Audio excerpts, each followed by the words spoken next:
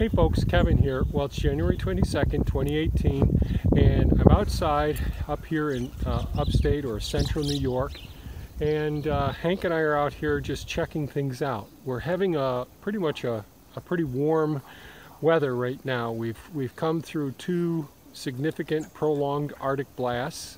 The second one was rather short, with a thaw once, uh, early January thaw, and now we're having a second one. We've lost a couple of feet of snow uh, in the last oh, 48 hours and it's up to I think 34 degrees right now and uh, I thought it'd be a good day to come out and take a look at our compost pile.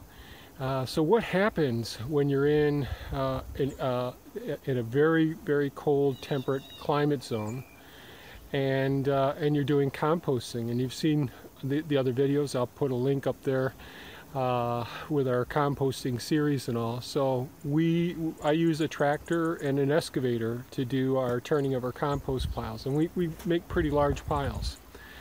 Now it was too wet in the season when I went ahead and, and got this last material to put it up where I usually do. Right now I'm back by the chicken coop, so there's a chicken coop right there. And I'm going to turn the camera around and show you the compost pile. Here's Hank by the compost pile. So I'm in an area where, well, this is an area that we used to do composting all the time. But below this whole section here, down about 10 feet, uh, is a huge hugelkultur pit that I put in two years ago. And, and I've been uh, using lots and lots of wood chips to build up the, uh, the, uh, the soil in this area here. Each year I've been uh, adding more and more. I, I guess I put the hugelkultur pit in three years ago now. uh, so I've been building it up and that's a six foot fence and you can see that uh, I've been building the soil level up and this will be where a, uh, uh, an, a season extension like a greenhouse, a hoop house will be going, a non-heated structure. But I couldn't get up to our usual spot way up above uh, because it was just too muddy when I got this material. But the question is, I'm always talking about we want to keep the temperature so it really isn't hitting the uh, up in the 160s because we're going to go anaerobic. Uh, and it's just too wet in here. We have all this snow that's melting and this is down uh, downhill from you know the house and all the areas up there so moisture drains down this way and as I said, it's lots and lots of very deep wood chips. And I don't know if you can appreciate it, but over here there's tire tracks here where I've come up and snowblowed in this area. So I can't come in here and use the tractor, and I'm certainly not going to try and do this uh, with, with a pitchfork. Uh, it's too darn big a pile. But I stuck some thermometers in here, and let's take a look at the temperatures. And this is a 36 inch thermometer and so we're just over 90 degrees in, on this thermometer.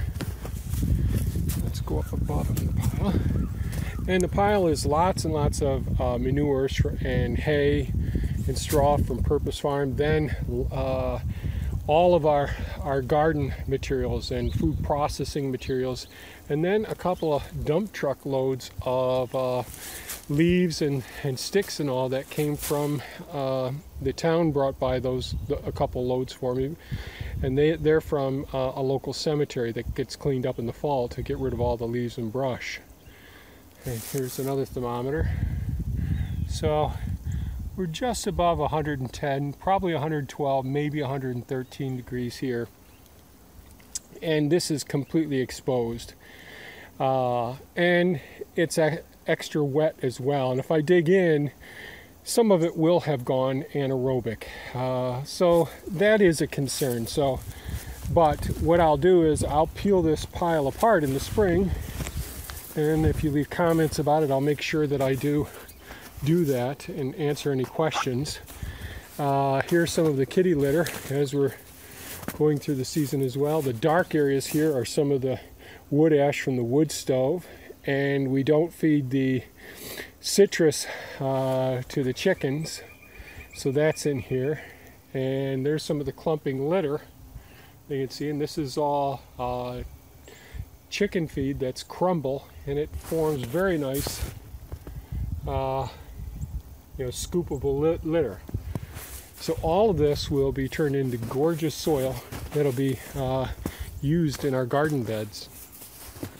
Uh, so I really wanted to take an opportunity to show you what happens during the winter months when I'm not able to get to these compost piles. There's probably another pile that's being built up gradually in between snow layers at Purpose Farm that I'll go in the spring after things dry up. And each of these piles that are left over the winter time, some of them are going to get quite saturated, which is going to cause them to go anaerobic, and there'll be some hot spots inside as well.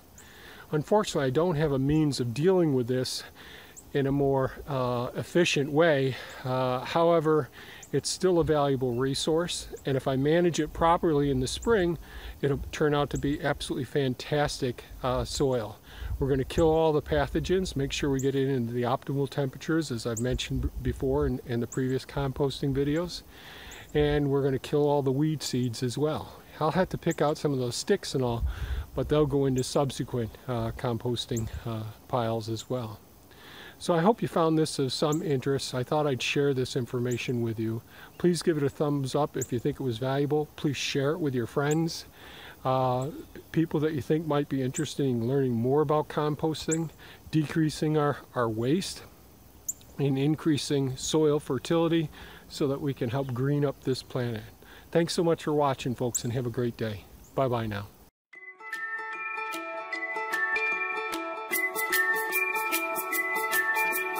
Thank you.